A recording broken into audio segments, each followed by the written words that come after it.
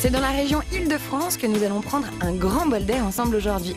C'est à Épisy, près de Fontainebleau, que je m'apprête à faire un truc un peu dingue, monter dans un objet qui vole sans moteur. Ça s'appelle un planeur, et même si ça sonne bien sur papier, je suis pas très rassurée. Moi, j'ai rendez-vous pour un briefing à l'intérieur, et vous, je vous propose de découvrir. Allez. Ah, ça aussi? Une batterie Pas de galanterie chez vous, hein Alors ici, on est sur l'aérodrome euh, du De club Moret et Pizy, ouais. de Morée-Épisy. C'est juste à côté de Fontainebleau. Ouais, on est juste au sud de Fontainebleau. On a ça des fait longtemps machines. que vous existez? Alors le club, il existe depuis à peu près une quarantaine d'années. Et il est réellement reconnu comme aéroclub depuis 1964. Ok, donc j'aperçois au loin notre planeur à nous, mais aujourd'hui on va aller se balader où? On va faire la... On va se balader au-dessus dans de le la coin, forêt de Fontainebleau, au-dessus de la forêt de Fontainebleau, ou se mettre sous des nuages comme ceux qui sont là-haut. Sous les nuages. Sous les nuages, oui, parce qu'en fait, il y a de l'air chaud qui monte et qui se condense, qui forme les nuages. Et nous, pour, pour monter, on va monter dans cette colonne d'air chaud qui monte. D'accord. Donc on Voilà. va vraiment avoir la tête dans les nuages, ce sera pas Voilà. une image.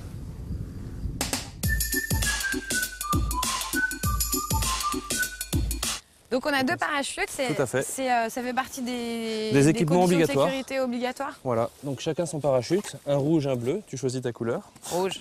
Voilà. Donc ça c'est obligatoire, on le porte sur nous ou on le met dans le Alors là, on va le poser dans le planeur mais dès qu'on décollera, on l'aura au dos. Donc tu vas voir, ça fait 7 kilos. Ok. Donc tu peux le poser dans le planeur, D'accord. si tu veux. Et puis la dernière chose, j'aurais besoin de savoir ton poids pour savoir si on est bon au niveau centrage. Ça se pose pas comme question ça. Bon, on va rajouter du poids pour être sûr. alors. Je le garde pour moi. Normal, attendez, suis une fille. Ok, voilà, attends, hop. c'est marrant là, mais j'ai une petite pression qui est en train de monter. Ah, mais moi aussi, c'est mon premier baptême. Merci beaucoup. Ça me, ça me détend. Moi, je pensais que le planeur, il suffisait de monter dedans et qu'on décollait, c'était tranquille, mais en fait, non, c'est vraiment une activité sportive et physique. Je suis à la bourre, j'y vais. Alors, parachute, Ça se met comme un sac à dos. comme un sac à dos.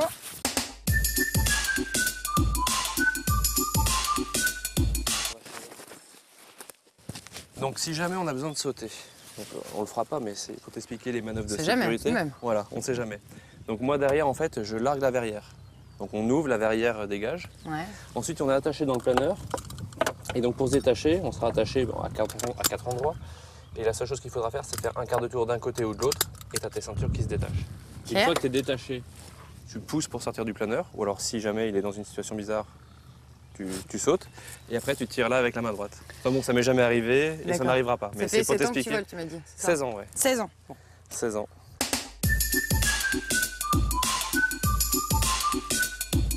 Ervin et moi, on s'apprête à décoller là-haut, on va aller planer. Et vous, je vous propose de découvrir une autre activité, ça s'appelle le sail kart. C'est à mi-chemin entre le kart et le char à voile, mais l'avantage, c'est que ça peut se pratiquer de partout, pas forcément sur un bord de plage. Je vous laisse découvrir ça et nous, on part là-haut.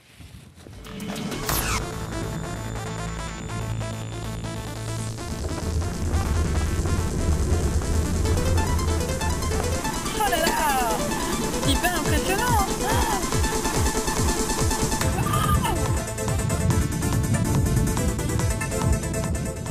Donc là, on va nous tracter. Voilà, on va se faire monter jusqu'à peu près 500 mètres derrière l'avion. Donc on va le suivre. Pour l'instant, c'est le taxi. On D'accord. le suit, on prend l'altitude qu'il nous donne lui en montant et en nous tirant. Et quand on sera vers 500 mètres, on décidera de se larguer. Donc c'est nous qui décidons le moment où il nous largue. Oui, tout à fait. tout à fait. Et donc tu vois, dès qu'on dès qu'on s'élève comme ça dans, dans l'air, on se rend compte que c'est vraiment important d'avoir des lunettes de soleil et un chapeau. Ah, c'est clair, ça parce cogne que... là derrière. Ouais, ça cogne là, on le sent. hein. En tout cas, c'est magnifique vu d'en haut. Ouais. C'est super beau. Et donc là, par exemple, si on, a envie de- si on avait envie de parcourir une grande distance, on pourrait aller jusqu'où? Alors aujourd'hui, d'après ce que nous a dit le briefing météo, on peut faire des vols de l'ordre de 500 km.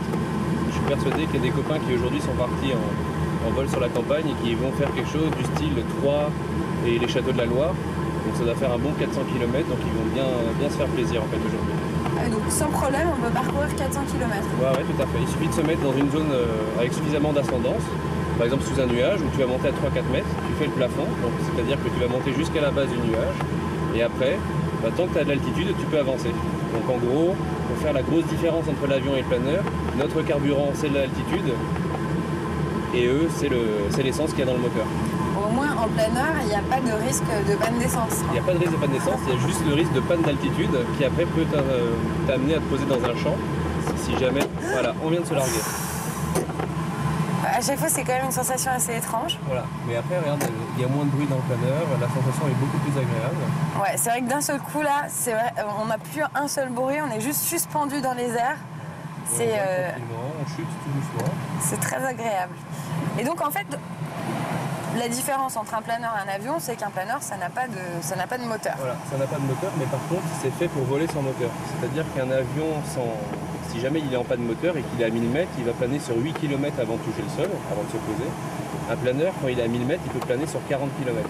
D'accord. Le temps idéal pour voler, c'est celui qu'on a aujourd'hui. Aujourd'hui, c'est vraiment pas mal. Euh, Le temps idéal, c'est aujourd'hui avec trois fois plus de nuages, on va dire, avec des, nuages, des rues de nuages. Des fois, tu as l'impression de voir des autoroutes de nuages qui sont alignées euh, comme ça. Et euh, c'est vraiment super sympa. Parce qu'en planeur, on vole, on va se coller sous les nuages, on passe de nuage en nuage. Voilà. Et Ça. surtout, là, bon, là, tu le vois pas, mais en fait, là, j'ai pas les mains sur le manche. Et en Ah, fait, le mais planeur. tant mieux, tu vois, Voilà. ça tombe très bien que je le vois pas. Voilà. Et le planeur, en fait, ça, ça- ça se pilote vraiment très très bien. C'est une machine qui est super saine. C'est vraiment un pilotage euh, très agréable. Nous, pour accélérer, le seul moyen qu'on ait, c'est de pousser le manche pour, euh, pour prendre de la vitesse. Quand on pique, on prend la vitesse. Donc on, on sait voler en l'air. Par contre, il y a une petite subtilité de l'avion, du planeur ou du parapente, bah, c'est quelque chose de spécifique. Mais sinon, on vole exactement de la même manière. Il y a toujours un manche à balai. Là, t'as vu, là, on est en ligne droite et ça monte à 2 mètres. Ouais. C'est le nuage qui est au-dessus qui nous, qui nous aspire. Bon, tu vois, pour vérifier ce que tu me dis, je prendrais pas le risque de tester, de prendre le manche et de piquer vers l'avant. Je te fais confiance pour l'altitude. On y est, on est très bien. Bon, moi je propose qu'on continue notre balade dans les airs. On est à peu près à, peu près à 700 mètres d'altitude, c'est ça, Hervin Tout à fait, 650. 650 mètres d'altitude, on poursuit. Et vous, je vous propose de regagner la Terre, changer de région pour découvrir une nouvelle activité, mais toujours en plein air. Et on se retrouve juste après.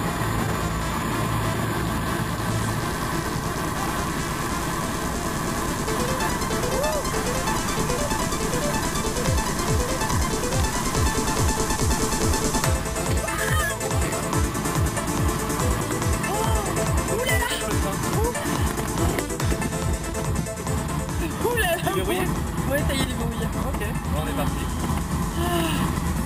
Je pense que j'ai perdu 10 kilos.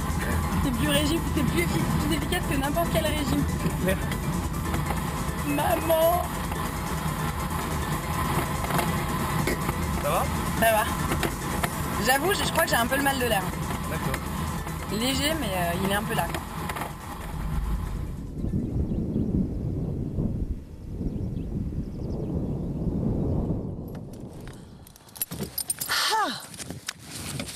Ben voilà, c'est ce qui s'appelle un atterrissage en douceur.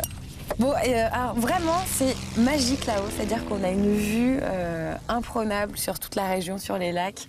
Euh, c'est très agréable, c'est des sensations fortes. J'avoue, je vous confie, hein, je crois que j'ai un petit mal de l'air, donc euh, je suis pas mécontente non plus d'être arrivée, mais c'est à réitérer. Si vous l'avez jamais fait, vraiment, je vous le conseille, surtout avec un pilote comme R20 qui vous fait un décollage et un atterrissage tout en douceur.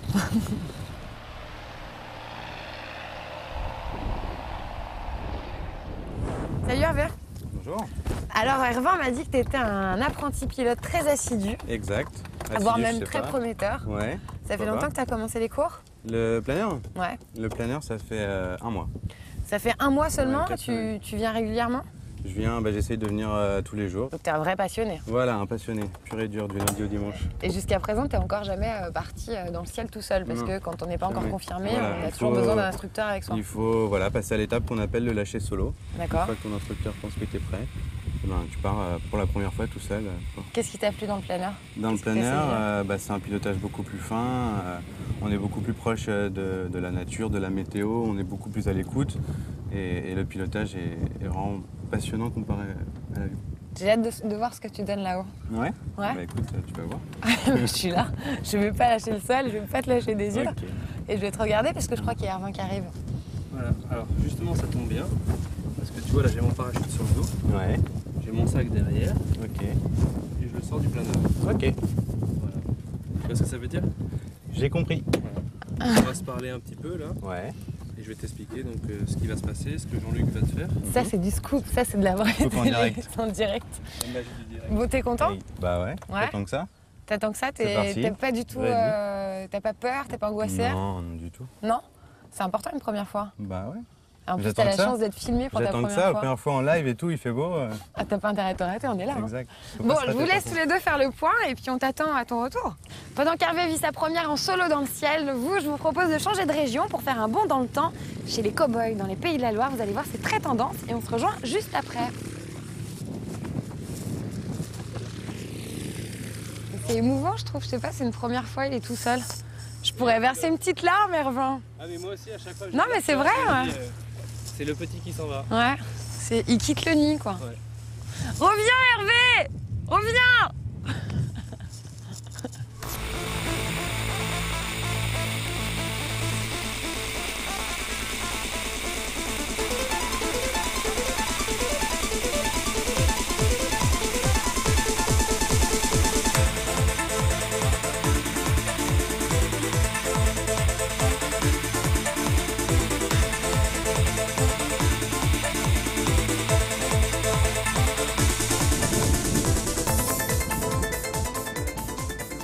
Bon, l'émission touche bientôt à sa fin, mais on ne peut pas se séparer sans faire un petit bilan sur les trucs, les astuces et les essentiels pour pouvoir pratiquer du vol à voile. Je crois que toi, Jean-Luc, tu as déjà deux objets incontournables à nous présenter. Voilà, deux objets. Le premier, c'est le bob qui nous permet de nous protéger du soleil et puis euh, pour la sécurité en planeur, donc Pas pour faire éviter l'insolation. C'est The Bob Touch, hein, s'il vous plaît. Tout à fait, le bob Regardez. du club.